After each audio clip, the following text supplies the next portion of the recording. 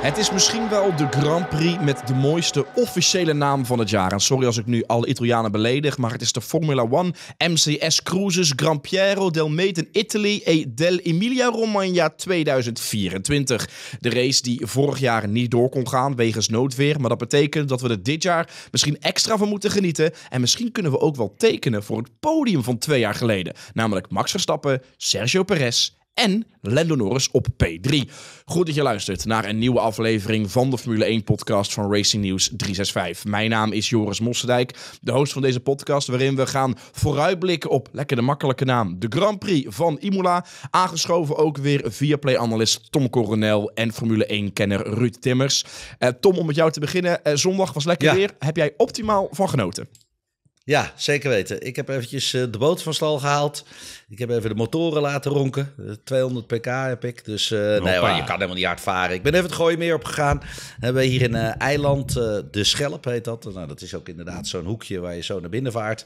En daar ben ik lekker gaan liggen en heb ik even genoten van het mooie weer. En heel voorzichtig kwamen allemaal vrienden met bootjes er tegenaan. Muziekje erbij. En op een gegeven moment eh, kwamen de hapjes en de drankjes. Dus dat was helemaal top. Klopt. Je had toch al een, wil- een wild weekend gehad, of niet? Ik zag jou het? zaterdag nog bij Dutch Performante. Ja, oh ja, ja, dat had ik maar niet gepost. Ja, dat klopt. Kun, je Said beter, had, kun, je eh, kun je beter niet doen, hè? Kun je beter niet doen. Die was 34. nou, dat ging helemaal los daar in zijn woonkamer. Dat was echt super gezellig. Ja. Is Maar plaf- hoe- is waar, plafond- zag je, waar zag je mij dan? Ja, ik zie alles, jongen Tom. Oh, oké. Ruud, Ruud was ook uitgenodigd. Die zat, die zat achter de bar steeds. Nee, nee, was ik, was, die- ik, was, feest. ik was die boerenrapper, dat was ik. Ik, oh, die, er. En die Jij van de zit onder dat, eh, dat masker. Ja, was echt Heel lachen. goed. Ik heb echt gelachen. Ruud, jij nog bijzondere dingen ondernomen of gewoon lekker met de twee kids genoten van het lekkere weertje? Eh, ja, dat eigenlijk. Een beetje family time is ook wel eens een keer belangrijk. Dus eh, even laten zien waar, eh, ja, waar de melk vandaan komt. Even naar de boerderij geweest en dat soort dingetjes. Dus eh kalfjes knuffelen. Dus, eh, Hartstikke goed. Ik eh, heb een, eh, ook een mooi weekend gehad. Ik ben wat is het, 8, 49 uur in Berlijn geweest. We waren op uitnodiging van Mahindra bij het Formule E weekend. Nou, de derde jaar op rij. Ik moet zeggen, er komen binnenkort ook nog wel wat leuke dingen aan die gevolgen kunnen hebben voor de Formule 1. Waar ik niet te veel over uit kan wijzen. En ik heb nog net, of gisteren, een half uur gebabbeld met de vader van Frederik Vesti. Dat is natuurlijk Oh. een Mercedes junior. Vesti was in, eh, in Berlijn, omdat hij vandaag op maandag de rookie-test gaat doen. Dus hij gaat voor het eerst rijden in de Formule E. Ehm, ja, we kunnen even kort samengevat zeggen dat hij niet super blij is, die vader, met alle aandacht voor Kimi Antonelli. Want ja, dat heeft natuurlijk ook een beetje invloed natuurlijk voor zijn zoon Vesti. Jongens, wij gaan ons even maar focussen jongens, op- jij Oh, had volgens mij ook nog gesproken met een Nederlander. Ja, namelijk voor Mahindra rijdt Nick de Vries. Eh, afgelopen weekend reed hij niet, want hij moest zaterdag voor het WEC in Spa zijn. Toen heeft hij 11 uur s'avonds eh de auto gepakt, naar Berlijn gereden. Twee uurtjes geslapen, dus onder het eh, genot van een kop koffie en de stralende zon in Berlijn hebben wij eh, gebabbeld met Nick de Vries. Interview kun je dinsdag zien op Racing News 365, het YouTube-kanaal. En als we toch nog even bezig zijn, als je nog niks in je agenda hebt staan, check even maandag 27 mei. Dan organiseren we namelijk een Racing News avond, een kart-event, eh, samen met een live podcast bij Hezemans Karting in Eindhoven. Je gaat kwalificeren, je gaat racen en we gaan een speciale podcast opnemen. En je krijgt ook nog een leuk race cadeautje mee naar huis. Eh, tickets zijn 29 euro. Ze gaan hard. Dus check even ons eh, kanaal eh, op racingnews5.nl en Instagram. Daar kun je de tickets kopen. Ehm Ruud is er sowieso bij. Joris is erbij. Voor dit keer hebben we Tom even een avond vrijgegeven. Maar als je Lekker. wil, mag je wel een ticket kopen. Daar ben je natuurlijk altijd welkom voor. En dan gaan we nu even echt beginnen met de podcast.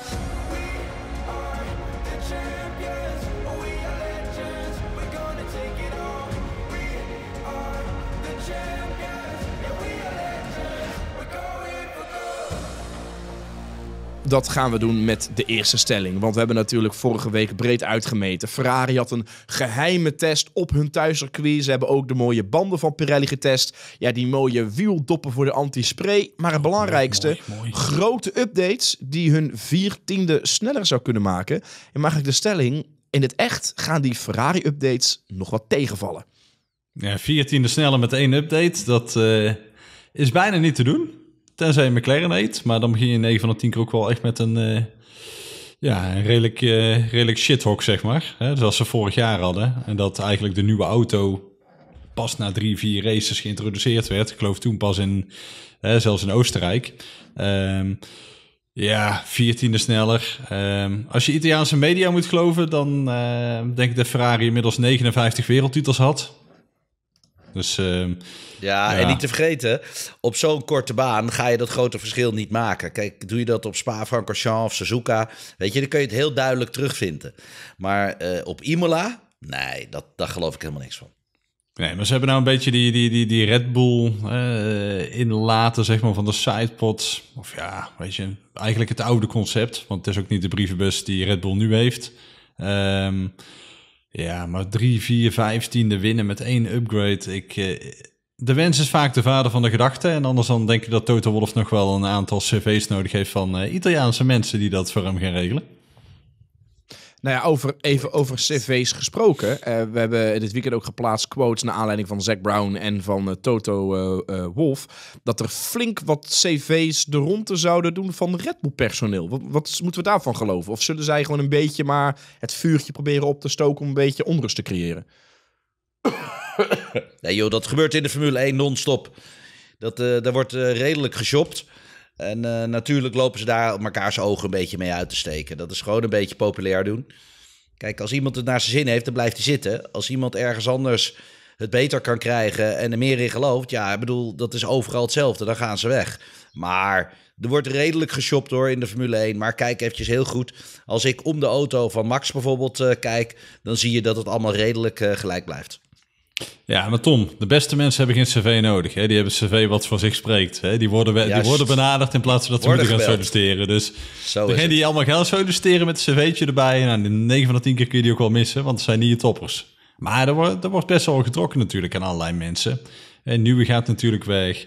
Uh, Waché heeft dan uh, wel bijgetekend. Er zijn nog drie, vier mensen die, die, die, die, die langer blijven. Uh, we kregen al de vraag van... En uh, GP, hè, Lambiase, blijft hij wel bij Max? Ja, dat is bijna een soort van ja. één eigen tweeling. Ja. Die blijft gewoon waar Max is. Dus die gaat er maar nergens heen. En het valt allemaal nog wel mee wat er gaat gebeuren. Ik las gisteren eigenlijk een hele sensationele headline op een of ander blogje. Hè, dat Red Bull uh, af zou glijden tot de middenmoot en weet ik veel wat. Nou ja, sorry, maar dan heb je echt weinig verstand van Formule 1. Moet je wat anders gaan doen. Zou het al gaan dan om volgend jaar of dan al een beetje voorbordurend op die nieuwe reglementen 26 en die powertrains en noem maar, op? Ja, weet je, als je dat soort headlines erin, uh, erin gooit en dan zegt dat Red Bull de midden, middenmotortje gaat worden, dan heb je volgens mij geen enkel idee hoe de Red Bull organisatie in elkaar zit, hoe Formule 1 werkt, hoe het hele team erin zit. Uh, en dat valt niet zomaar uit elkaar. Dat, dat nee. zeker niet. Een, een, een, een subtop team, dan heb je het over een, uh, een Aston Martin of minder. Dan heb je het misschien wel over uh, Alfa Tauri RB, zeg maar. Dat, dat, is het subtop team. Nou, wil Red Bull die kant op gaan? Nou, dan moet je met de bulldozer door het hele gebouw heen rijden. Uh, denk van ja, dat, dat soort opmerkingen kun je er gewoon heel weinig mee. Dat is ook gewoon... Het succes hangt ook niet af van alleen Adrian Newey. Ik denk dat voor Red Bull de toekomst het meest belangrijke is hoe die die, die, die nieuwe motor gaat presteren. Ik bedoel, je hebt de beste dat coureur. is de zorg. Ja, je hebt een van, de, een van de beste fabrieken die er is. Je hebt een winnend team. De meeste mensen blijven allemaal. En hetzelfde als in iedere, iedere vorm van sport of het bedrijfsleven. Mensen komen, mensen gaan. Ik bedoel, uh, ons clubje PSV is nou kampioen. Nou, er zullen echt, echt wel een paar mensen zullen weggaan. Het is maar, maar net wat je voor terug... Op, ja, jij doet ik, kom net, ik kwam net op kantoor en er lag zo'n grote uh, schaal met 25 op mijn bureau. Dit was dus het cadeautje wat je had achtergelaten. Die heb je meegetjoept ja, allemaal in het stadion. Ik had, ik had even het schaaltje meegenomen. Had ook een eigen zietje bij ons, dat was ook wel leuk. Dus zeg je kunt er ook fruit op eten, jongen. Dat kan ook op de schaal. Je bent dan wel liever de bruine fruitschaal. Hey, maar even dan terug naar waar we eigenlijk mee begonnen met de stelling. Die, die Ferrari-updates. Uh, eigenlijk concluderend zeggen we viertiende op een circuit als Imola is aan de overdreven kant. Dat ze iets gevonden hebben Klopt. en dat ze wat sneller zullen zijn, dat is zeker. Nog één ding wat Altijd. zij getest hebben, dat waren die mooie, ja mooie tussen aanhalingstekens, spray covers. Dat zou Ik eigenlijk het, die, ja. zich in, Ja. die ze geïntroduceerd hebben. Nou, ik vraag me af hoe ze dat nee. willen gaan doen. Want als je natuurlijk een natte Grand Prix hebt dan, en je begint nat, dan zou je kunnen zeggen: oké, we monteren ze op de auto. Maar ik vraag maar me je af hoe creëert lang. ook problemen. Kijk, dit is natuurlijk, die cover is natuurlijk puur en alleen maar gecreëerd zodat het niet te veel omhoog vliegt. Maar als het niet omhoog vliegt, dan moet het toch ergens naartoe. Dus het blijft in die cover blijft dat zitten. Ja. En uiteindelijk, het spuit aan alle kanten eruit. Want die groeven, ja, die zijn ervoor om het water te verplaatsen. Ja, en als het de druk erop krijgt dat het niet verplaatst kan worden, ja, dan krijg je alleen maar aquaplanning. En dan krijg je alleen maar opeenhoping van die hoeveelheid water. Want dat is echt wel heel, heel, heel erg hoog. Oh, ik kreeg een belletje. Hoorden jullie dat? Ja. Ja, we hoorden. Ja, je moet je telefoon even op stil Sorry. zetten. Je begint lekker te trillen en te bellen. Dus even gewoon. even- Even, even, even, even mono, weet je. Dan maak, dan maak je toch reclame voor. Ik even mono, even mono. eventjes, eh, nee, Ja, dat maar Tim, Tom, ja, en maar Tom, wat nog een, een bijkomend iets is, is natuurlijk van... ehm, ja, ik vraag me altijd af, stel dat je nou in Imola door die grindbak ploegt. Hè? Hamilton heeft een paar Ja. jaar geleden dat gedaan in de, in de regen. Je hebt een hoop Ja. grind, dat gaat ook allemaal ergens naartoe. Of je raakt elkaar net, wat gebeurt er dan met zo'n ding? Ja, loopt het dan gelijk aan? Eh, blijft dan ergens hangen? Eh, Dat gaat overal gaat daar een beetje grind in zitten. Dus weet je, eh, het allermooiste is overal grindbanken eh, bakken neerleggen. Wat ze natuurlijk ook gedaan hebben. Hè? Want ook in Italië hebben ze hier en daar hebben ze die uitloopstroken die zijn weg. Hè? Dat zijn nu grindbakken geworden. Bij Aqua Minerale, daar zien we het heel duidelijk. We zien het bij Ravazza, zien we het heel duidelijk. Ehm, dus weet je, een coureur die weet waar die uitloop heeft. Die weet waar hij het kan proberen. En op het moment dat er een grindbak zit, dan, dan weet je op een, of andere manier wel de limiet te vinden zonder het grind te raken. En anders gaan ze er allemaal net eventjes overheen. Dan schieten ze door en dan maken ze er gebruik van. En dat kan nu dus ook helemaal niet meer. Dus dit is wel die stijl dat ik zeg, via ga niet zoals in Oostenrijk gewoon eventjes op maandagochtend nog even zeggen, ja, hij is er drie keer over de lijn gewijs- geweest. Eh, hij wel, hij niet. Dus de hele uitslag wordt weer anders. Hè? Dat was toen voor, eh, wat was het? Eh, Carlos Sainz geloof ik toen ook. Hè? Weet je, dus dat kan gewoon niet meer. Gewoon een grindbak neergooien. Je weet dat je niet doorheen moet rijden. De auto wordt zwaarder. De auto maakt dingen stuk en hij gaat aanlopen. Wij zaten te kijken naar die, die, naar die grindbakken. En ik zag ook, of die grindbakken, sorry, die, die, die covers. En het leek een beetje alsof zo'n typische stoelpoot. Weet je wel, zo'n Ja. cover van zo'n stoelpoot. Wij keken er een beetje grappig naar. Ik denk dat er een paar mensen zijn die er echt met zweetdruppels op hun voorhoofd naar gekeken hebben. En dat zal denk ik de pitcrew van Steak zijn. Om te vragen hoe de hel gaan we hier een snelle pitstop onder de 10 seconden van maken. Nou, dat is één. En twee is natuurlijk, ja, daar denk ik, ik denk maar aan. Het is wel eh, ruimte voor reclame. Wat je er allemaal op kan plakken. Dus ergens gaan we wel iets van een cover of, of een, een, een, een dekje gaat er misschien wel overheen verzonnen. Maar inderdaad, pitstops en dat soort dingen, ja, dat, dat, dat, dat gaat heel anders. Want je kan niet in één keer het wiel eraf trekken of erop zetten. Ja. Dan Ja. hebben we het over updates gehad van Ferrari. Die zaten er niet heel erg lekker bij in de vorige race natuurlijk in Miami. We gaan het zo heel even hebben natuurlijk over, over Red Bull, Max Verstappen, Perez. Maar wat verwachten we van McLaren? Want Norris heeft eindelijk na 110 races zijn eerste zege binnen. Meer dan verdiend. Wel natuurlijk de vraag, hè, was het gebeurd wel of niet met een safety car? We hebben nu, weten nu ook dat Verstappen flink veel pech heeft gehad en echt wel veel schade had. Doordat hij even dat, Ja. dat pionnetje niet zo, niet zo leuk vond. Ehm, verwachten jullie in Imola, wetend wat de baan is, meer nu van McLaren? Of zouden jullie dan geld inzetten op de Ferrari-updates? Oeh, dat is best close, denk ik hoor. Want het, eigenlijk zit het achter Verstappen zit het vrij dicht bij elkaar. Ehm Norris zit heel goed in zijn vel natuurlijk. Ja, dat, de- en die McLaren gaat goed. race pace van Norris was al goed. Hè? In China zagen we het ook al, hè? Ja.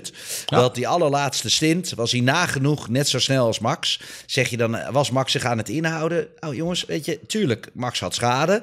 Tuurlijk eh, zag je heel duidelijk dat hij een handicapje had. Maar Norris was gewoon twee, drie tiende op dat moment sneller. Ik voorzie toch wel dat de concurrentie serieus dichtbij komt. En als ze een heel klein beetje mazzel hebben, dat ze niet de sweet spot weten te raken met de setup, ja, dan, dan zie ik wel een gevecht komen met een McLaren. Nou, een Ferrari zou die potentie natuurlijk ook moeten kunnen hebben. En als ze dan zoveel updates hebben waarvan ze zeggen... en als ze het ergens moeten doen, moeten ze het natuurlijk in Imola doen. Gewoon hun eigen achtertuin. Ja, dan, eh, dan wordt het wel een hele, hele vette race. Dan wordt het wel een gaaf weekendje. Maar Ja. Tom, jij zegt het al, dan moet het weer gebeuren in de achtertuin van Ferrari. Eh, bijna altijd de keren dat het Net moet gebeuren, niet. gebeurt het Net net, eh, niet. totaal niet. ja. Nou, weet was je, het? Leclerc die spinde bij de chicaan. Die stond onder druk. En Max die hem gewoon wint. Nou jongens, ze werden gek. Ferrari stond de top voor. Wat was twee jaar geleden toch? Twee jaar geleden was Verstappen. Ja, hebben- was ook nat. Verstappen, Perez en Norris op P3.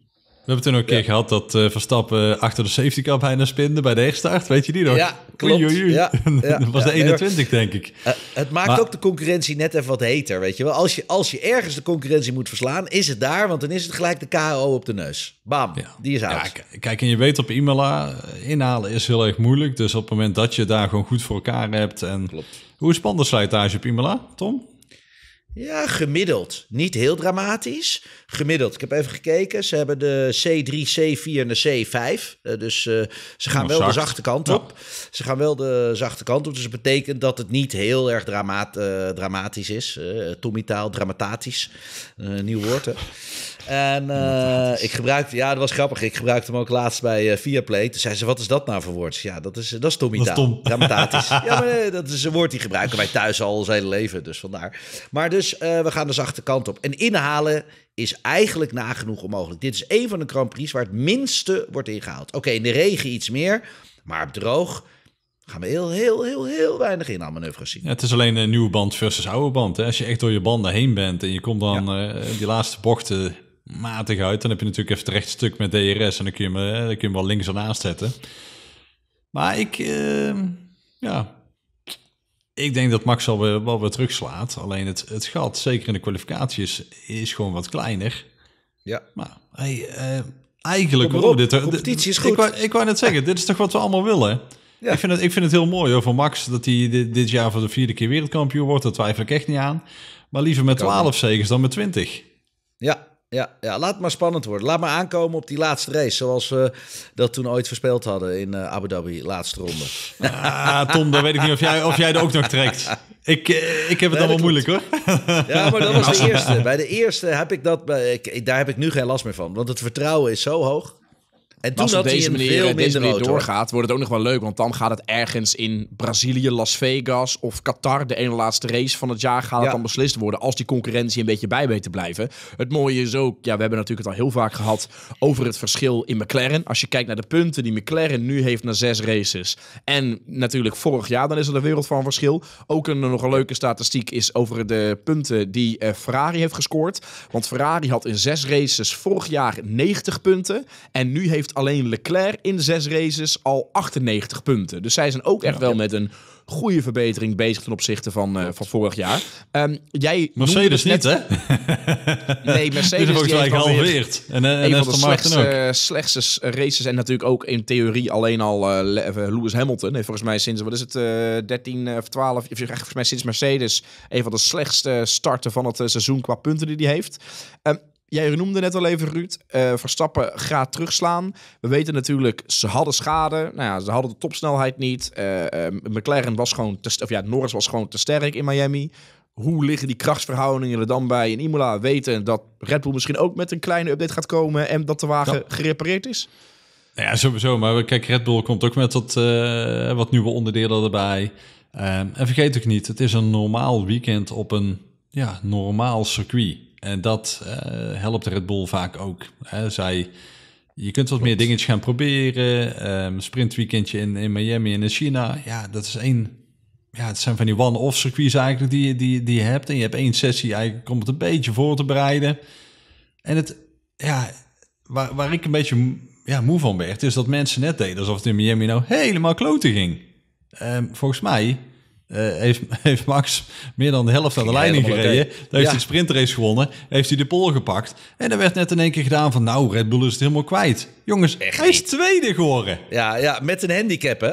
Als je ja. zag hoeveel schade die, die, had. En die deed hij zelf. En ze hebben het hele ja. weekend geworsteld met de setup. Want het was, hij is geen moment is hij daar tevreden geweest. Dus als je die dingen bij elkaar optelt... kun je ook zeggen van... oh, vorig jaar was Singapore was het slechte weekend. En het jaar daarvoor ook. maar zeker vorig jaar. Nou ja, okay, als dit dan het slechte weekend is, ja, dan kun je als concurrentie kun je dan zeggen van, hé, hey, dat was supergoed van ons, of van, als dit het slechte weekend is, ai. En ik denk als je in een slecht weekend tweede wordt, uh, tien keer tweede worden, word je ook kampioen, hè? Ja, maar Tom, ik, uh, die, die voorsprong van Red Bull is niet in één keer weg. Absoluut. De voorsprong van Max is niet in één keer weg, laat ik hem zo zeggen. Want Checo die kan wel een beetje, ja. Een beetje nou ja, je ziet het, weten. Het is niet de auto, want anders was Checo altijd tweede geworden. Weet je, die heeft het echt zwaar. Die zit echt een beetje subtop, zit hij een beetje te lummelen. Ja, ja, tweede rijder betekent niet altijd tweede. Nee, dat weten we nou. over coureurs en onderdruk gesproken. Ricciardo en Sargent die krijgen nog maar korte tijd om zich te bewijzen. Terecht. Ja, ben ik het helemaal mee eens. Ehm, weet je, het is wel heel typisch Red Bull om als het niet goed gaat direct zeg maar door te pakken. Want ja, je verliest gewoon te veel tijd. En Ricciardo, topgozer, alles goed, alles leuk. Maar je ziet het, het zit er gewoon niet meer in. Ja? Je, je ziet het aan alles. Hij is niet meer dat extraatje wat hij geweest is. En dus eigenlijk sinds hij de mokerslag van Max heeft gekregen... is hij nooit meer de oude geweest. En dat komt ook niet meer terug. Dus ik heb wel zoiets van... nou, nu moet je ook bewijzen als Red Bull zijnde... hoe je het altijd gedaan hebt, doorpakken. Gewoon doorpakken. En eh, ja, ja, en dan geeft die Lawson nou een kans. Gaat niet gebeuren hoor. Want eh, ik, ik ga je zeggen, Christian Horner, die gaat hem er niet uitzetten. Want die heeft, die, die heeft daar iets mee. Ik weet zeker dat daar iets extra's tussen zit. En daardoor hoor je Dr. Helmut Marko veel te weinig. Want die had doorgepakt. Ja, klopt. Alleen, je hebt, ja, je hebt natuurlijk Lawson die, die, die, die, die hem Die kan vervangen. klaar. Ja, maar hij was wel vierde in die sprintrace, hè, Tom? Dus is dat dan... Och, is dat, gefeliciteerd. Heb je, heb je de hoofdrace gezien? ja, Dat is één kwalificatie die die top had gedaan. en door verdediging is hij een keer redelijk uit de bus gekomen. Ja, ik bedoel, als jij honderd keer meedoet, Ruud, gaat het ook wel één keer goed. Nee, kijk. Vertrouwen. Zo, hey, die kun Dankjewel, je in je zak steken, hè? Die kun je Zo, in je zak hoppa. steken. Nee, maar er waren natuurlijk in eerste instantie, volgens mij na Australië, waren er geruchten. Wat waar is, weten we natuurlijk nooit. Dat er een- bijna een ultimatum zou komen. Werd uiteindelijk ontkend. Maar dat hij echt wel beter zou moeten presteren in eh, China en Japan. Want anders zou hij vanaf eh, Miami of Imola vervangen kunnen worden. Eigenlijk hebben we de laatste weken daar niks meer over gehoord. Vanaf dat moment ging het ook ietsjes beter. Het was niet meer 18, 19, maar het was 12, 13, 14. Maar ja, mij lijkt ja, gaat dat heel veel beter zijn met een Liam Lawson. Want het is niet dat, dat Yuki Tsunoda in één keer acht posities boven Ricciardo staat. Nee, oké, maar met Liam Lawson kan je bouwen. Met, met Ricciardo is het natuurlijk niet meer bouwen. Dit is het plafond, dit is wat je ziet. En, en meer gaat er ook niet uitkomen. En misschien heel incidenteel. Ik bedoel, we moeten vorig jaar natuurlijk Mexico niet vergeten. Daar heeft Ricciardo het ook goed gedaan. Eh, maar de rest was natuurlijk gewoon bagger. Klaar. Het was niet, niet, niet de consistency zoals we die bij Max zien. Het was niet de consistency zoals we die verwachten van een topcoureur. Met al zoveel ervaring. Nee, maar dat... met die nieuwe namen. Ja, eens. Maar goed, dan moeten we even doorselecteren. Dan heb je het gehad over Lawson. Arme jongen. Maar ja, goed, dat is op een gegeven moment klaar. En dat mis ik wel een beetje uit de jaren negentig. Dan was het gewoon, dan zat er... Oké, dat was het niveau van degene die af en toe meereden. was ook wel bedenkelijk. Maar dan was alles als gekoppeld bij sommige teams aan een zak met geld. Was die zak met geld op of werd er gewoon niet, niet gepresteerd. Klopt. Er gingen ook goede coureurs, hè? die werden gewoon eruit gezet. Hè? Eh, Jan Magnussen, de vader van Kevin Magnussen, halverwege het jaar Ja. bestuurd. Huppakee, ga maar wisselen. Er werd Ja, veel makkelijker. Jos. Ja. Ja. En toen pakte hij een punt, hè? Hij pakte toen, wat was het volgens mij? Nee, hij had, het geen, had geen punt in de Stewart toen. Alleen hij lag een beetje op koers om het jaar daarna. Toen Stewart dat mega seizoen had. Om bij te tekenen, maar dat ging toen op de een of andere manier niet. Volgens mij pakte hij in die laatste race die ene punt. Nee, je zit met, de- met, de, met de Arrows zit jij. eh, Dat was het met de, oh, was Ja, met de hij heeft, de, hij heeft met de Arrows heeft hij toen... eh, hij heeft de 94 heeft hij punten gescoord in 2000 en in eh, 2001 was het één puntje. Oké. In 2001 was die, die, mm, werd hij niet beloond door die puntentelling voor die prachtige race in Maleisië, dat hij zevende werd. En dat was toen nog gewoon nul punten. Ja, ja, ja, ja, klopt. Ja. Hij bij de Maar even, even, even, top ja, 20 even, even, punten. ter- eh, ja, even terug daarna. Ik vind wel dat ze heel lang coureurs tegenwoordig allemaal ja, een beetje pamperen. Als het niet goed genoeg is, selecteer een keer door. Pak een keer wat anders.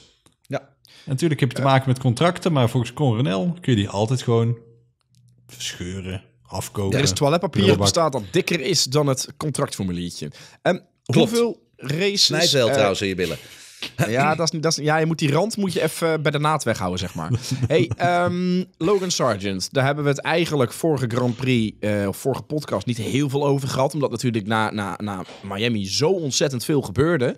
Eh, maar hoeveel races denken jullie dat hij nog krijgt om zich te bewijzen? Of is de keuze al lang gemaakt en is het gewoon een kwestie van uitzitten tot de FIA met iets komt voor Antonelli? Of dat Antonelli gewoon meerjarig is of 18? Ja, volgens mij is keuze inderdaad uitzitten. Kijk, want ook daar zit geen groei meer in. Ook daar zien we dat de potentie, die is er gewoon niet om zeg maar in de Formule 1 verder te komen dan dit. Dan waar die nu zit.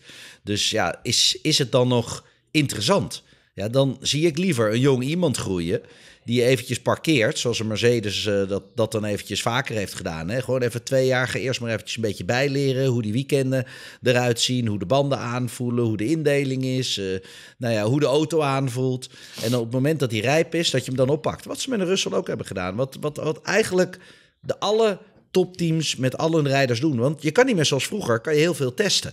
Dat is over. Dus je moet die testkilometers maken bij dit soort type teams. Ja, alleen het is natuurlijk wel, uh, Williams is niet de eigenaar van uh, Antonelli.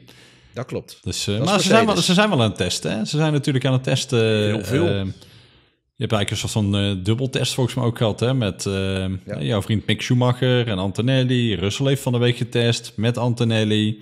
Ja. Om gewoon heel veel te kijken van, hè, wat doet hij wat nou? Wat was het? de... Oostenrijk zaten ze toch? Poeh. Waar hebben ze getest van de week? Ik ook niet te zeggen. Ik weet Dat wel dat er ook binnenkort weer een test staat met inderdaad. Antonelli en Schumacher. Dan krijgt Maar volgens, Schumacher mij hebben, volgens mij hebben ze ook al op Silverstone gereden. Hoor. Maar Ja, dat, daar hebben ze al gereden. En de Red Bull Ring. Dat was een aantal weken geleden. Volgens mij Red in Bull Ring, ja. Regenachtige. Ja, omstandigheden. maar Ja. afgelopen, afgelopen Ja. week was volgens mij Silverstone toen. Maar ja, wat ze dus willen is eh, meerdere circuits, meerdere settings, meerdere omstandigheden. En dan zien hoe goed het mannetje is. En dat, eh, ja, ik ben, wel- ik ben wel benieuwd.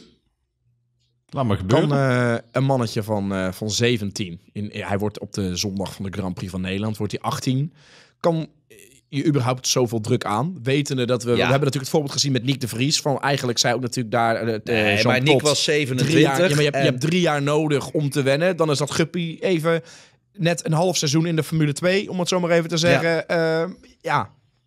Nee, nee, nee. Kijk, als jij kampioenschappen kan winnen in alle klasses daarvoor, ja, dan is daar niks aan hand. En Antonelli is het tot nu toe allemaal gelukt. Behalve dan de Formule 2, want daar rijdt hij dan nu in. Oké, daar is hij nog niet flamboyant of, of speciaal. Maar dat gaat heus wel komen. Daar ben ik heilig van overtuigd. Dus deze jongen kan zeker naar de Formule 1. Maar er wordt gesproken over een nieuwe Verstappen. Nou, degene die dat zegt, die is echt tegen een hele harde deur aangelopen. Maar dat kan je echt compleet vergeten.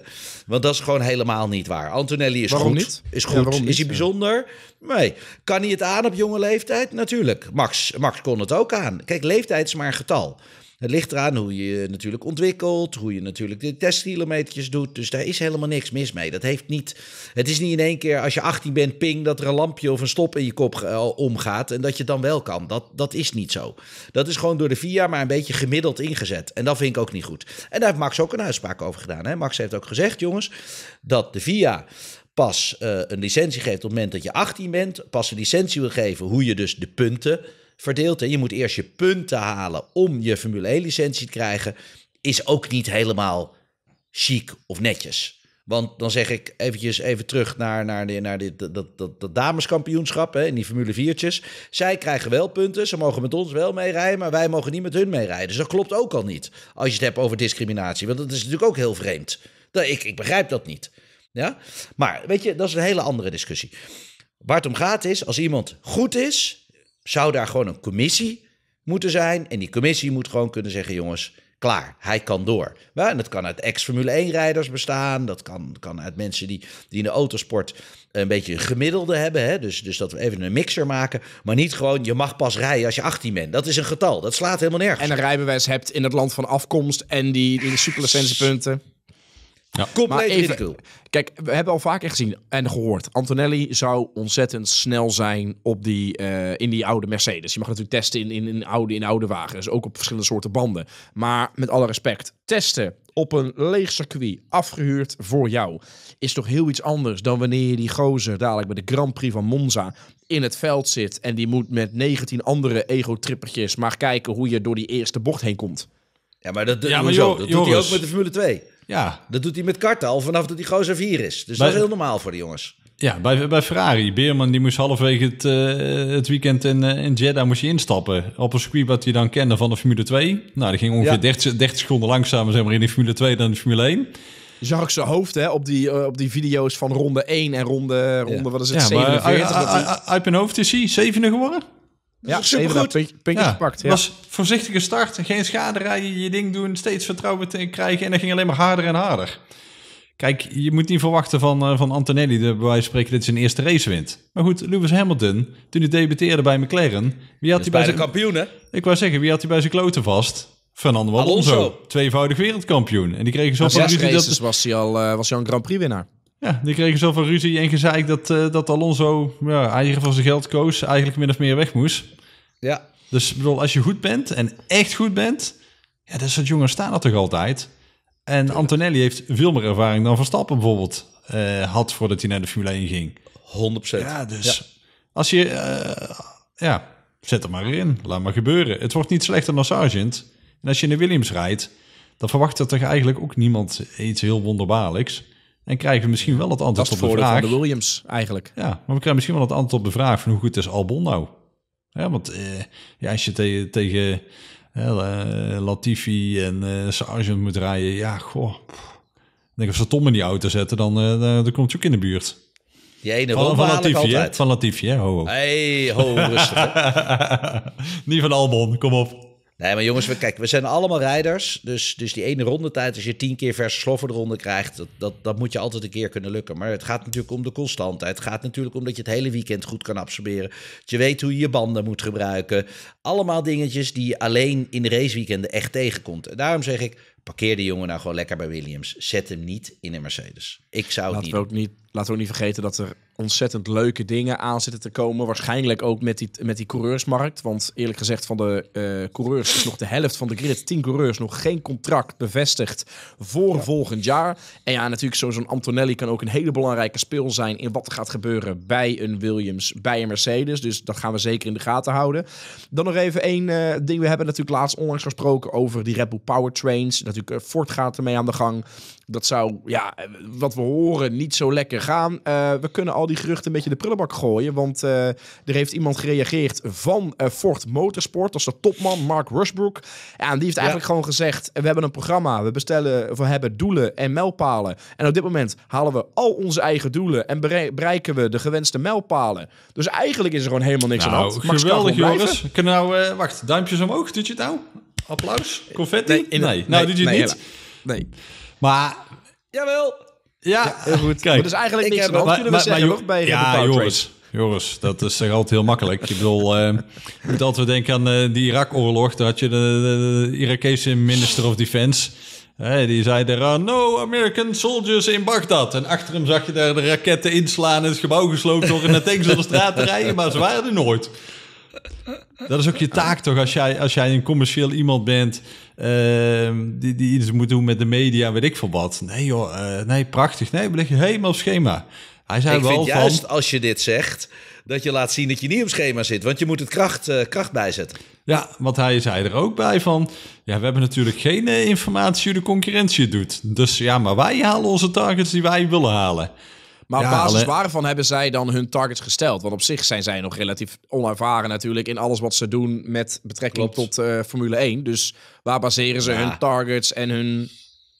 Dat zijn natuurlijk je eigen doelen die je stelt, waar je wil staan. Maar ja, als die eerste paar wel gehaald worden en daarna stagneert het een beetje, ja, dan, dan op een gegeven moment gaat hij natuurlijk wel een klein beetje pijn doen. We moeten niet vergeten dat Red Bull Powertrain wel heel veel belangrijke mensen heeft weggehaald bij de concurrentie. En dan heb ik het in dit geval ook, ook, ook over Mercedes. Want daar zijn wel de belangrijke motormensen toen weggekocht. Dus, en die werken nu bij Red Bull Powertrain. Dus Weet je, je moet mensen tijd geven. Het kan niet in één keer goed gaan. Alleen, daar blijf ik wel bij. Jongens, Red Bull Powertrain, je zegt het al, het is een blikjesfabrikant. Ja, dat is natuurlijk heel iets anders dan een Mercedes, dan een Ferrari, dan een automotive bedrijf, wat zijn hele leven dit al doet. Ehm, ja, dus, dus daar zit dan net eventjes ja, de handicap, de historie in. Ja. Maar Tom, even... Ja, ik fiets gewoon Joris' scriptje gewoon lekker door elkaar. Dat doe ik altijd. Ja, Onze grote vriend Mike Hezemans. Hè, die was natuurlijk in Miami helemaal uitgesproken in het, eh, in het interview met, eh, met Max. Dat hij ook zei van... eh, ja, weet je, Max, wat jij moet doen... naar eh, Ferrari. naar Ferrari gaan. Ja. Maar Ja, dat- jullie- volgens mij heb ik dat vorig jaar al heel hard Ik, geroepen. ik, ik, nou Eén ja, al, al, al, zes, al zes Ja. jaar. Ja, want, eh, want dat is wat een coureur altijd wil. Een coureur wil altijd een keer voor dat automerk geraced hebben. Dat is gewoon de passie. Ferrari is Formule 1. Via, Ja. zeggen ze toch ook wel, is Ferrari internal affairs. ja, Het blijkt Frans, maar de Italianen zijn de baas. ja. Maar ja, Mike, Mike had echt zoiets van, nou ja, hij moet daar naartoe. En uh, ja, 25 nog niet, maar 26 dan, uh, ja, dan kijk je maar wat je met die Leclerc doet. En Hamilton die rijdt er dan nog een jaar, hè. Je weet hoe Mike praat dan, hè. Van, ah, kijk maar die Leclerc, die, die, die, die zit er nog ergens anders neer. Maar ja, je zag Max ook zo kijken van, oké, okay, wat moet ik hier nou mee? Maar... Ja, hij denkt, shit, hij heeft me door, hij heeft me door. Dat, dat zag je Verstappen nee. kijken. Nou ja, als, je, nou, maar als, je, als je moet kiezen tussen, tussen Mercedes en Ferrari... Mercedes is wel, is, is wel echt ernstig ver weggevallen. En ik vind het bij Mercedes wel echt ja, problematisch... dat ze na drie jaar nog helemaal geen teken van leven hebben in die auto... dat ze nee. dingen aan de praat krijgen. Dan denk je van, hoe kun je het... Oké, je kunt je eigen één jaar vergissen... Nou, vervolgens zie je dan Aston Martin, zie je dan de Red Bull kopiëren. Vervolgens zie je McLaren de Red Bull kopiëren. En het tweede of het derde team zijn. Hoe kun je, hoe kun je, ja, hoe kun je het zo mis blijven hebben? Ja. Maar als je moet kiezen, Tom, tussen Mercedes en Ja. Ferrari. Dan ben ik heel makkelijk. 100% Ferrari. 100% Ook met het oog Ferrari. op 2026, nieuwe wagens, Nou ja, nieuwe kijk, motoren. Kijk, dat weet je wat Mercedes daar heel sterk in is? Als, als Fred Vasseur het voor elkaar krijgt om een Lewis Hamilton en Max Verstappen in dezelfde auto, in hetzelfde team voor elkaar gaat krijgen, jongens, dat hoef ik jou niet uit te leggen.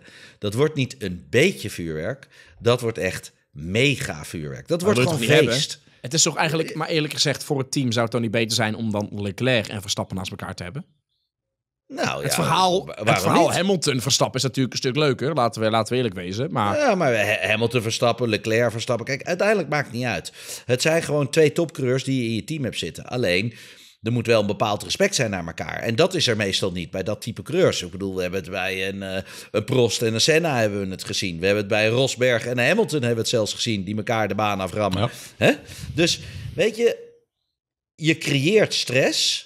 Maar voor ons, die twee bij elkaar... Ja, dan, ik bedoel, ja, dan is Fred Vasseur voor mij niet, niet de poop, maar dan is hij de poop-op. Ja, echt. Ja. dat is ook, Maar is ook Tom- met Tommy Taal. Ja, Ma- Ja. Ma- Mike die was wel heel overtuigd. Die zei tegen Max... Ja, maar je kunt hem hebben. Je kunt hem makkelijk hebben. Ja, ja maar dat Nee. weet hij ook. Ja, maar ik denk ook dat Max hem... Ja, makkelijk niet. Want weet je, dan doe je Hamilton wel tekort. Alleen Hamilton wordt niet sneller. Hoe oud is Hamilton nou, Joris? 40? 39? Ja, ze zitten Dus, hij is dus in- over, twee 7 jaar is hij, januari eh, is, hij, is hij 41 of 42 of zo. Da, dan, Het mooiste is, wat wij nog kunnen meemaken, dat Max in een team zit samen met Hamilton. Gewoon, huppatee, de ballen eraf trekt, klaar is Clara, nu is het rechtgezet, eh, geen discussie meer, this is it. Natuurlijk, Max is feller. Je mag als coureur nooit bang zijn voor zo iemand naast je, nooit.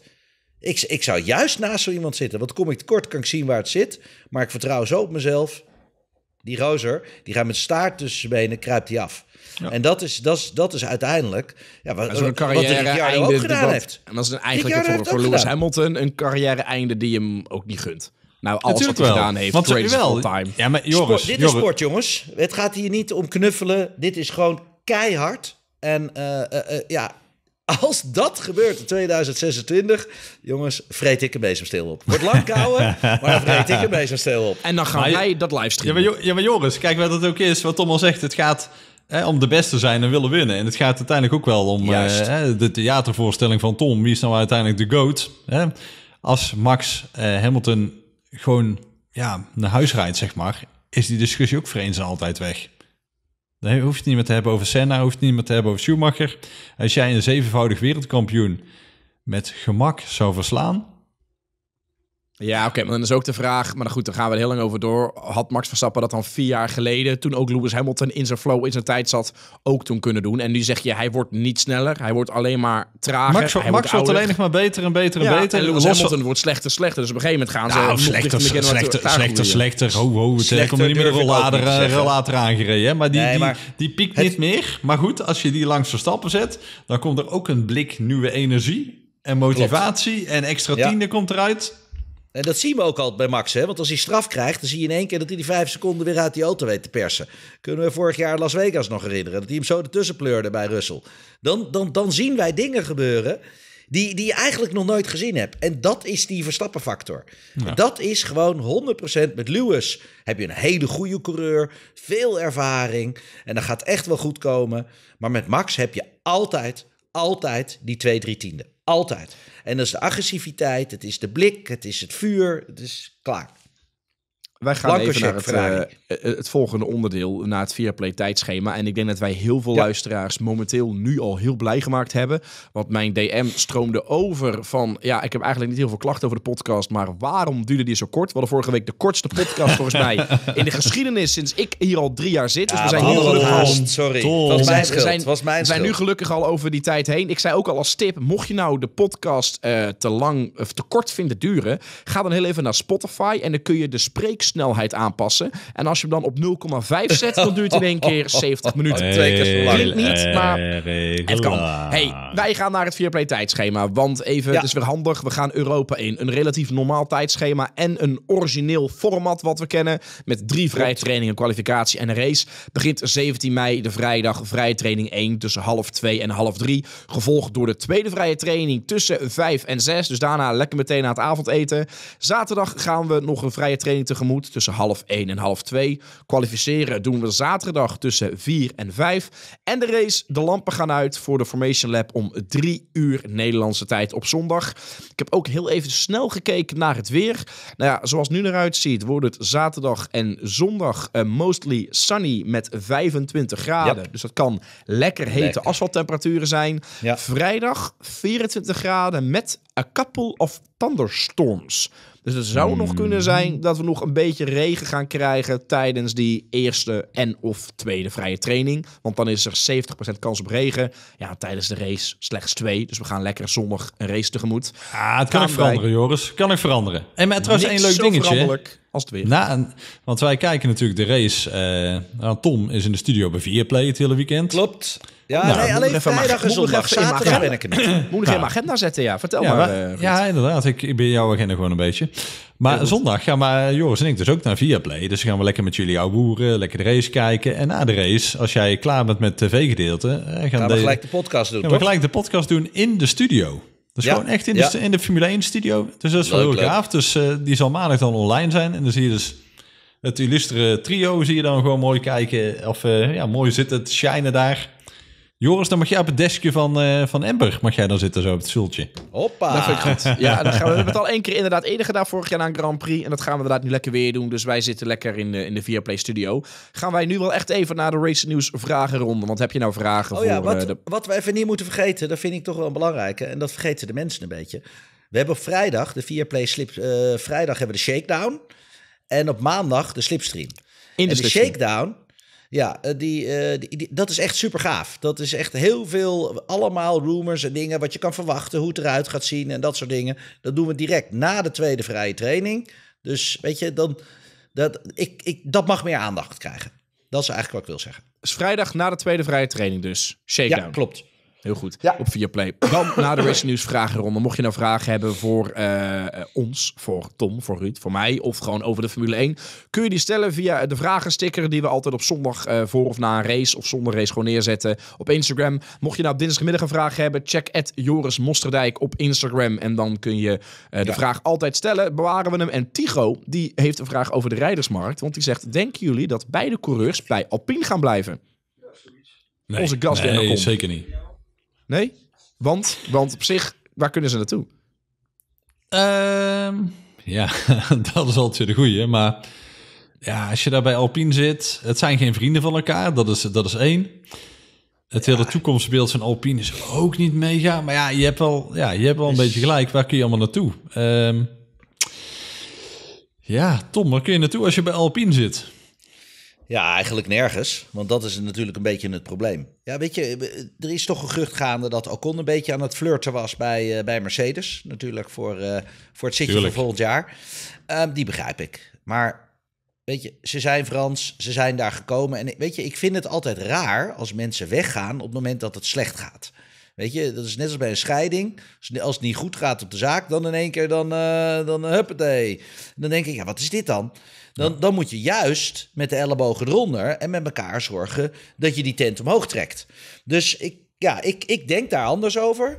Er is ook niet veel keuze voor de rijders. Dus Nee, ik zie want- niet veel ja, verandering. want ze komen allebei komen ze niet aan aan- aanmerking voor een Red Bull stoeltje. Eh, Nee. Nou, Ferrari is bezet, McLaren is bezet, Mercedes eh, zijn ze Zou ook niet de eerste ja. keus. Eh Nee, Aston dat is Carlos Martin Sainz. zal Stroll nog steeds wel een jaartje doorgaan. Geloof ik ook. Eh, nou, uh, RB, Ja, hè, Alfa Tauri, dus daar, daar kom je ook niet. Haas heeft natuurlijk twee stoeltjes vrij, want Hulkenberg is weg en Magnussen... Ja, dat is hetzelfde. Nou goed, daar komt, ja, daar komt dus Beerman te rijden. Ehm, ja, Alpine heb je twee stoeltjes vrij. Heb je Williams. Dat Nou, zei ze zelf. Ja, heb je, heb je Albon die eigenlijk ook geen kant op kan. Hè? Die jongen die zit eigenlijk ook een beetje vast. Nou heb je Steek. Dat wordt normaal gesproken, eh, zeg maar Audi dan, met Sainz Hulk. En Hulk. Ja. en Hulk, ja. Dus ja, je, je hebt niet heel veel kansen. En dat is, Het enige dat is wel- voordeel is wel voor die beide coureurs om deze af te ronden, eh, is dat eh al de, de teambaas van eh, Alpine heeft al gezegd dat ze heel tevreden zijn met beide coureurs en dat ze al onderhandel, een onderhandeling zijn om het contract te verlengen. Dus wat een beetje Sainz heeft met Audi, dat Audi heel graag Sainz zou willen en eigenlijk maar deadline na deadline uitstellen. Zou dus ook eh, met Alpine zijn dat eigenlijk Alpine graag door zou willen, natuurlijk als Frans team zijnde met beide Franse coureurs. Ja, maar vanuit, vanuit Ja. de huidige Formule 1 zie ik ook niemand die daar... Iets Ja. gaat veranderen. Nee, Nee, dan moet je echt een nieuwe... Dan moet je een Poucher of zo moet je dan erin zetten. Nou, die gaat nu die gaat in Amerika rijden. Ja, IndyCar. daarom. Dus die, die droom Dus van hem is ook alweer voorbij. Maar ik bedoel... Ja. Eh, Vera, die zegt, we zien dat de RB20 werkt. Dat kunnen we heel zacht uitdrukken. Maar zij is benieuwd om te visualiseren hoe de RB19 tijdens de laatste Grand Prix van Abu Dhabi 2023 zich nu zou verhouden in het veld van 24. Poeh, ik denk dat het heel moeilijk is. Nou ja, eh, halve seconde, dan rij je al plek 12. Dus, dus en, en ik denk dat dat dat verschil is. Ja, ja alleen het, eh, die, die RB19, die, die, die reed ook op rails en die was helemaal... Ja, alles wat ze, ieder, ieder, ieder boutje wat ze aandraaiden, dat voelde goed. Iedere setup verandering, dat wist ze exact hoe die reageerde. Ik heb het idee dat bij de RB20 dan nog net iets minder is. Ja, maar de RB20 is een voortbeduring van de RB19. Dus je kan Ja, niet zeggen dat het in één keer een andere auto ja. is, Ruud. Dat Nou, is niet zo. Nee, nee, nee. Zo, zo groot anders is dat ook weer niet. Er zijn veranderingen, daar is over nagedacht. Daar is eh, heel veel input in gegaan. Dus dat is automatisch altijd wel een, tandje beter. Maar het is niet in één keer dat een hele andere auto is en die twee seconden sneller is. Het verschil, echt waar, vijf, zes tiende. En dat is het verschil dat je net eh, eh, subtop bent. Zo, zo zou je het echt moeten zien. En, en, en meer dan dat is het echt niet. Want het zijn nu niet hele grote stappen qua auto's. Het, het zijn die kleine veranderingen die tik, tik, tik, tik, een beetje bij elkaar optellen. Misschien wat constanter zijn, iets meer feedback geven, iets meer gevoel geven, iets meer efficiëntie. Iets, weet je, allemaal van die kleine verfijnde dingetjes. Ik, ik verwacht ook niet dat er nog een team komt met iets wat mega schokkend, verrassend eh, is. Eh, want ja, dat- dan had je dat al wel gezien. En ook met het oog dadelijk op de nieuwe reglementen. Ja, eigenlijk zit je, je zit nou in mei. Eh, Formule 1 technisch. Ja, het seizoen loopt, eh, wat is het, eh, begin december af. Nou, je laatste fatsoenlijke eh, updates, die, die, die breng je vaak ergens eh, in oktober nog of zo dan. En that's Ja. it. Dan, dan houdt het op een gegeven moment ook wel op. Dus je kunt eigenlijk één of twee keer, want die vraag zou ik ook voorbij komen op YouTube, hè, bij onder onze podcast, van ja, hoe ver is nou dat ontwikkelingsbudget van McLaren op? Hè? Super upgrades gebracht. Die Ja. goedkoop zijn geweest? Dit zal waarschijnlijk de grootste upgrade zijn. En misschien dat je na de zomerstop nog een keer een eh, flinke upgrade hebt. Maar voor de rest zal het kleine dingen zijn. Je kunt niet drie of vier van die upgrades. upgrade hoeft Nee. heel veel geld te kosten. Hè? Het kan zomaar zijn dat, dat ik bedoel, een, een vleugel, een achtervleugel. Kijk, ga je Nee, dat klopt Tom. vloer, Alleen eh, het, was, het, het was en- nou bij, bij McLaren waar het eh, echt negen, negen punten Klopt. op de auto. Ja, dat was heel dat- veel. was heel veel. Maar de eerder je het erop brengt, de beter het is. Want er is over nagedacht. Eigenlijk zijn er geen updates die echt slechter zijn. Daar geloof ik helemaal niks van. Het Nee, zal misschien alleen- één op nee. de twintig keer niet werken. Maar ja, dan zit het er maar op en dan is het oké. Maar ja, alleen zo'n eh, zo'n eh, zo'n McLaren upgrade, dat is normaal gesproken heb je die één per jaar. Ja, Mercedes had er vorig jaar natuurlijk ook, eh, dat ze met die, Ja. of, of het jaar ervoor, met die sidepods aan de gang toe gingen. Ja, dat is dan de upgrade en dat moet het dan ook doen. Nou, bij McLaren Ja, hè. lijkt hij nou ook te werken. Ja, bij Mercedes niet. Wij gaan eh, even door met voorspellen. Grand Ja. Prix Imola Romagna. Ehm, in voorafgaand Tom aan de leiding, 221 punten. Ruud eh 201 of 181 en de luisteraars 184. En als je denkt, luisteraars, ja, jij als luisteraar kan voorspellen tegen Tom en Ruud. En het mooie is, doe je het beter dan zowel Tom als Ruud, dan ga je er vandoor met een Max Verstappen cap. We hadden vorige week eh, de eer aan de eerste keer luisteraar Mike. Die kwam twee punten tekort om Tom te verslaan. Dus ja, hij heeft goed voorspeld. Ruud ingehaald, maar dat petje helaas niet. Dit keer Jorre. En Jorre die heeft al voorspeld de top 3 van de, eh, van de kwalificatie, top 5 van de race en de voorspellingsvraag.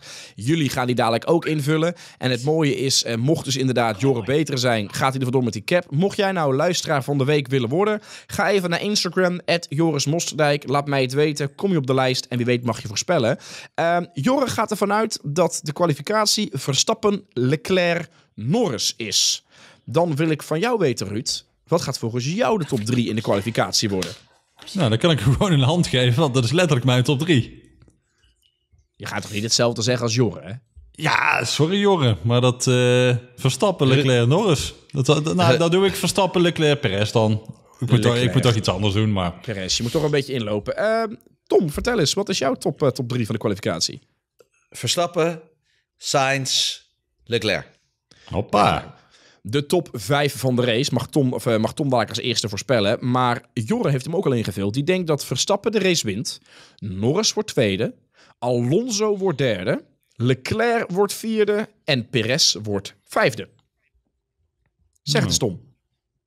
Verstappen. Leclerc. Sainz. Perez. Nee, wacht even. Nu mis ik Norris, hè? Je hebt Norris, je hebt, je hebt nu top 4, ja. Dus je hebt nu Verstappen, Leclerc, Sainz, Perez. Mijn vader komt even koffie drinken. Oh, groot gelijk heeft hij.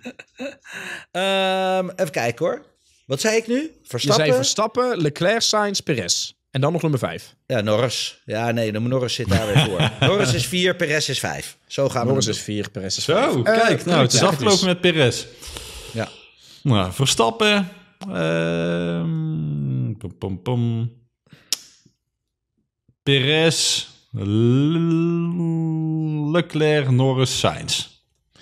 En de voorspellingsvraag van Jorre is: welke coureur gaat tijdens de Grand Prix als allereerste een pitstop maken? En hij heeft zijn naam al ingezet. Hij denkt Alexander Albon.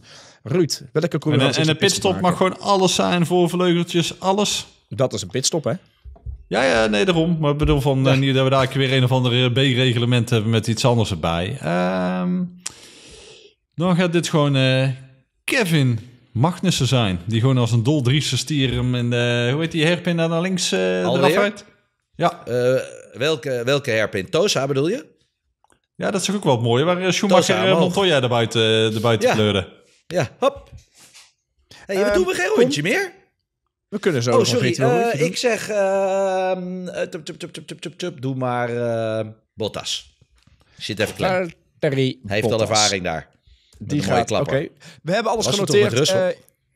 Ja, dat was ja, die was mooi, ja. Was Wij mooi. hebben alles genoteerd en we gaan kijken of Joren het lukt om voor het eerst de geschiedenis van het puntenteller luisteraar van de week te worden en ook jullie beiden te verslaan. Weten we over precies een week. Uh, dan willen, kunnen we eigenlijk langzaam af gaan ronden. Uh, Tom, en dat mag jij dan doen met het virtuele, virtuele rondje Imola Romagna. jongens, als ik aan Imola denk, dan denk ik aan uh, de ijssalon die als je het circuit afrijdt, want Imola ligt gewoon midden in de stad. Hè? Ik bedoel, je rijdt gewoon langs de waslijn, uh, rij je gewoon uh, tussen de huizen. Het is echt helemaal vette bom. Beetje, beetje boompjes, bosjes, maar je zit gewoon in een woonwijk. Je ramt hem gewoon door een woonwijk heen. En daar zit een ijssalon, die is helemaal de bom. Pak altijd het fietsje, ga ik even naar buiten en een lekker... Hoe, hoe heet die? Want ze hebben natuurlijk ook luisteraars die naar Imola gaan, hè? Gelati, uh, nou ja, je vindt, je vindt hem wel. misschien dat je daar, misschien rechtsaf, rechtsaf bij de uitgang. Ja, ja. ga maar. Nee, ga nee, maar begin, begin even met je virtuele rondje, man. Oké, okay, virtuele ronde. Imola, vette baan. Natuurlijk uh, slechte herinnering aan um, vanwege de twee, uh, de twee ongelukken die ik daar zelf heb meegemaakt met Senna en Roland Ratzenberger. Maar die gaan we eventjes vergeten. Want namelijk, als we de eerste bocht pakken, dan is de Tamburello, ja, die is natuurlijk veranderd. Dat is nu varianten. Dat is dus een chicaan geworden. We gaan naar links en we gaan naar rechts. Dat is die mooie swing. Dat je de auto ook echt helemaal laat dansen. Je gooit hem vol op de rechterkant, hop, op die linkerkant, gaat dan op de exit. En dan gaan we door naar de tweede chicaan, de variante Villeneuve. Ja, uh, ook eventjes, huppatee, eventjes naar links, even naar rechts. Hij is iets krapper insturen naar links, maar het gaat allemaal om die exit naar die Tosa toe, waar een hele flauwe bocht in zit. Gaat heel flauw, gaat hij omhoog en dan krijgen we Tos omhoog. Hard aanremmen, iets meer dan 90 graden, buigt hij om. Ja, hij, je ziet hem ook heel goed. Hij opent hem ietsjes bij het uitkomen. En dan gaan we omhoog. En dan komen we helemaal boven bij Piratella. Nou jongens, dat is een rare bocht. Die zie je gewoon niet. Die zie je, oh, En dan val je het erin, hop af, naar linksaf. En dan gaan we naar beneden, naar eh, Aqua... Aqua Mineralen? Ja, Aqua, aqua Mineralen. Ga- Gaan we naar beneden.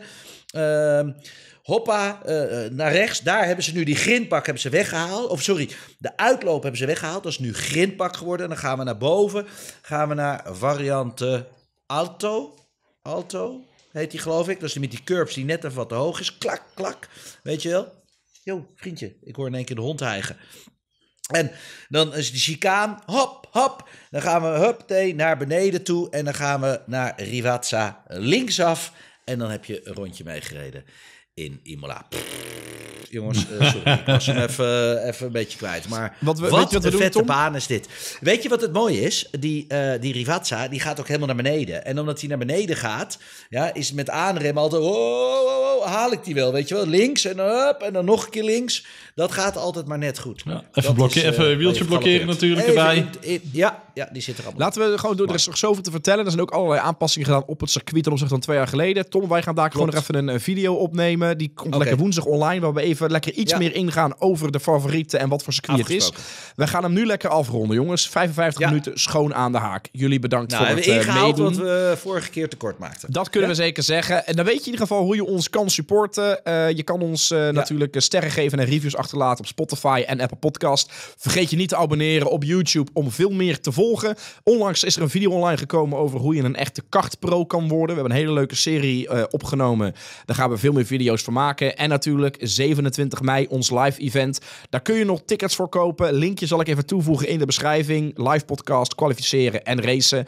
Eh, Tom bedankt. Ruud bedankt. Toppers. Week zijn we terug. En dan gaan wij niet alleen terugblikken op de Grand Prix van Emilia Romagna, maar ook meteen vooruitblikken op de Grand Prix van Monaco. Jongens, Dat is volgende week. Hoppa. Doei, doei.